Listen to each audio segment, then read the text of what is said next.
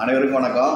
இன்றைக்கி நம்ம எதை பற்றி பார்க்க போகிறோம்னா நம்ம வீட்டில் இல்லை இண்டஸ்ட்ரியில் ஹார்னஸ் படிவதை பற்றி பார்க்க போகிறோம் அதாவது கால்சியமும் மேக்னீசியம் மேக்னீசியம் கால்சியம் ரெண்டு சேர்ந்ததுன்னா உங்களுக்கு படிமானமாக வந்து வெள்ளையாக படியும்.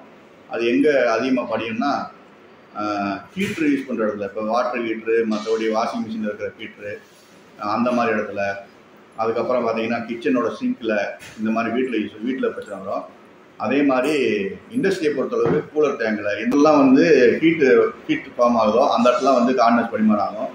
அதனால் நிறைய இடத்துல பாய்லர் இருக்கிற கம்பெனி அந்த மாதிரிலாம் டிஎம் வாட்டர் யூஸ் பண்ணுவாங்க. வந்து கார்னஸ்னால என்னென்ன பிரச்சனை வருதுன்னு இப்போ பார்க்குறோம் இப்போ நீங்கள் பார்த்தீங்கன்னா இந்த மாதிரி மண் மாதிரி பார்த்தீங்கன்னா தெரியும். மண் மாதிரி இந்த மாதிரி கிட்டத்தட்ட ஒரு ஒரு கிலோவுக்கு மேலே நாங்கள் எடுத்தோம். நம்ம சர்வீஸ் போன இடத்துல ஒரு கிலோவுக்கு மேலே வந்து நம்ம இந்த மாதிரி எடுத்தோம். வெறும் ஹீட்டரில் மட்டும் வாட்டர் ஹீட்டர் இல்லையா? கீசர் ரூமில் கீசர் அதில் வந்து அதில் மட்டும் எடுத்தது. அது இங்கே பாருங்கள் தெரியும் நினைக்கிறேன். இந்த மாதிரி இருக்குது. இதில் வந்து அவங்க கம்பெனிக்கு வந்து பெரிய பிராண்ட் தான். நல்ல பெரிய பிராண்ட் தான். அவங்க முடிஞ்ச அளவுக்கு அதில் என்ன செக்யூர் பண்ணணும் எவ்வளோ எப்படி அதை க அந்த ஹீட்டரில் வந்து படியாமல் இருக்கணும் அவங்க எல்லா வேலையும் பார்க்குறாங்க இருந்தாலும் வந்து ஹீட் ஆகும்போது ஆட்டோமேட்டிக்காக கார்னஸ் ஃபார்ம் ஆகுது.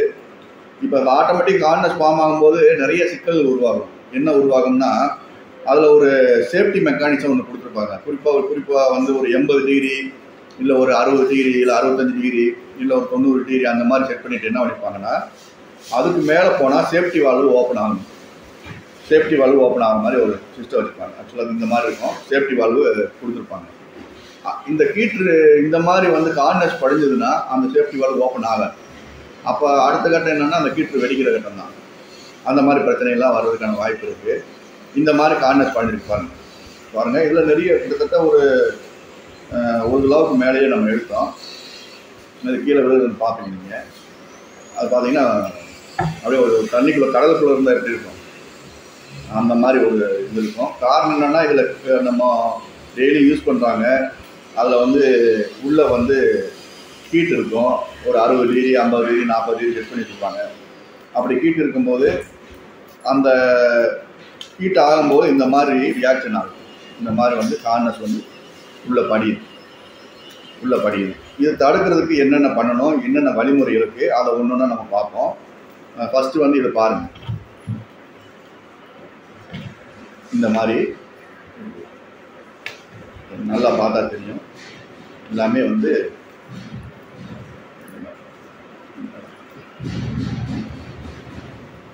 புரியுதுன்னு நினைக்கிறேன். ஒரு கடலில் உப்பு தண்ணியில் போட்டிருந்தா என்ன இருக்கும் ஒரு கடலுக்குள்ளே இந்த மாதிரி ஒரு உப்பு ரொம்ப உப்பான இடத்துல போட்டால் எப்படி இருக்குமோ? அந்த மாதிரி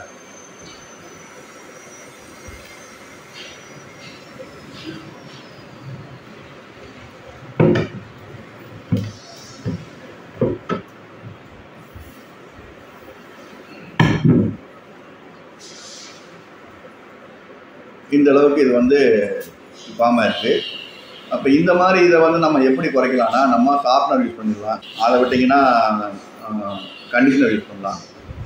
கண்டிஷனர் ஷார்ப்னர் மேக்ஸிமம் சொல்கிறது விதமான வேலை இருக்கான் ரெண்டும் வந்து ஒரே வேலை தான் செய்யும். இந்த கால்சியமும் மெக்னீசியம் வந்து ஃபார்ம் ஆகாமல் அதை ரெண்டும் ஒன்று சேராமல் தடுக்கிறது தான் அது வேலை அதோட வேலை. ஃபஸ்ட்டு வந்து பேசிக்காக வந்து ஃபஸ்ட்டு ஒன்று இருக்குது. அது வந்து நம்ம ட்ரெடிஷ்னல் ஷார்ப்னரு ட்ரெடிஷ்னல் ஷார்ப்னர்ன்றது வந்து நீங்கள் பார்த்துருப்பீங்க. ஒரு பெரிய சிலிண்டர் மாதிரி வச்சுருப்பாங்க. ப்ளூ கலரில் இருக்கும். அதுக்கடுத்து அதுக்கு அடுத்து வந்து எல்லோ கலரில் இருக்கும். அந்த நேச்சுரல் கலரில் இருக்கும். அந்த மாதிரி தான் அதான் ட்ரெடிஷ்னல் ஷார்ப்னரு அதில் வந்து இப்போ வந்து முன்னாடிலாம் ஒரு எழுநூறு கார்னர்ஸ் வரைக்கும் தான் போட முடியும். இப்போ வந்து ஒரு ஆயிரத்தி இரநூறு வரைக்கும் போடலாம். அதே மாதிரி அதாவது டேங்குக்கு போகிற வழி இல்லாமல் டேங்க்லேருந்து கீழே இறங்கி வர வரையும் போடலாம். அந்த மாதிரி வரல என்னென்னா ஒரே டைமில் எல்லாமே தண்ணியெல்லாம் ரொம்ப ஸ்பீடாக போகாது. தேவையான அளவுக்கு தான் உள்ளே வரும். அப்படின்னும் போது பியூரிஃபிகேஷனோட லெவல் வந்து நல்லா இருக்கும். அந்த பியூரிஃபிகேஷனோட லெவல் நல்லா இருக்கும். அதே மாதிரி முன்னாடி ட்ரெடிஷ்னல் சாப்னரில் வந்து மல்டிபுட் வால் வந்து மேனுவலாக போடுவோம். இப்போ வந்து ஆட்டோமேட்டிக் போடுறோம். ஆட்டோமேட்டிக் போடும்போது எப்போ ரீஜென்ரேஷன் பண்ணணும்? உதாரணத்துக்கு ஒரு வீட்லேயோ இல்லை ஒரு ஹோட்டல்லையோ வந்து பகல் நேரத்தில் யூஸ் பண்ணிகிட்டு இருப்பாங்க. ஒரு அப்பார்ட்மெண்ட்டுக்கே போகிறோன்னா பகல் நேரத்தில் யூஸ் பண்ணிகிட்டு இருப்பாங்க. அதே நைட் நேரம் ஒரு மணி பன்னெண்டு மணினா யூஸ் பண்ண மாட்டாங்க. அந்நேரம் நம்ம ரீஜென்ரேஷன் கொடுக்கணும்னா கொடுத்துக்கலாம். ரீஜென்ரேஷன் கொடுக்கலாம் அந்த மாதிரி டைமிங்கும் செட் பண்ணிக்கலாம். அதே மாதிரி நம்ம எவ்வளோ நேரம் ரன் ஆகுது? இப்போ வந்து சாஃப்ட்வேர் வந்து ரன் ஆகிற டைம் வச்சு தான் அதை கால்குலேட் பண்ணோம். எவ்வளோ நேரத்துக்கு ஒரு தடவை ரீசேஞ்ச் கொடுக்கணும்? அந்த மாதிரி இருந்தால் நம்மளே செட் பண்ணிக்கலாம். மல்டிபிள் வால்வே பண்ணால் பர்ஃபெக்டாக வேலை செய்யுது. ஆட்டோமேட்டிக் மல்டிபுட் வால்வு கம்ப்ளைண்ட் வருமா அப்படின்னு கேட்பீங்க. Ninety nine ninety nine percent வந்து கம்ப்ளைண்ட் வராது. அந்தளவுக்கு மார்க்கெட்டில் பர்ஃபெக்டான வால்வ்ஸ் இப்போ வந்துருச்சு மார்க்கெட்டுக்குள்ளே வந்துருச்சு. அதே மாதிரி ஒரு சிலர் வந்து மல்டிபுட் வால்வு செட்டிங் வீடியோ போட சொல்லியிருந்தீங்க. அந்த மல்டிபுட் வால்வு செட்டிங் வீடியோ வந்து கொஞ்சம் பொறுமையாக தான் எடுக்கணும். ஏன்னா அது சப்ஜெக்ட் நிறையா இருக்குது அது வர்ற வர்ற வாரங்களில் வந்து மல்டிபுட் வால்வு எப்படி செட் பண்ணுறது அதாவது சாஃப்ட்வேர் வால்வு ஃபில்டர் வால்வு எப்படி செட் பண்ணுறது அந்த டீட்டெயில் வந்து பார்க்கலாம். வேறு ஏதாவது அப்டேட் இருந்தாலும் நீங்கள் சொல்லுங்கள் அதே சமயம் நான் அடுத்த வர சாஃப்ட்வேரில் என்ன அப்டேட்னு சொல்கிறேன் அதே மாதிரி சின்ன லெவலில் சாஃப்ட்வேர் போட எனக்கு பட்ஜெட் கம்மியாக இருக்குன்னா இப்போ வந்து டேங்குக்குள்ளேயே நம்ம போடுற மாதிரி இப்போ சாஃப்ட்வேர் வந்துச்சு கண்டிஷனர் சொல்கிறாங்க அதுவும் நல்லா தான் ஒர்க் ஆகுது ட்ரையல் பேஸில் நம்மளும் ஒர்க் பண்ணி பார்த்தோம் நல்லா தான் ஒர்க் ஆகுது. அந்த மாதிரியும் நம்ம யூஸ் பண்ணிக்கலாம். இதில் ஆப்ஷன் நமக்கு இப்போ நிறையா இருக்குது இது சம்மந்தமாக வந்து உங்களுக்கு டவுட் இருந்தாலோ வாட்ஸ்அப்பில் மெசேஜ் போடுங்க.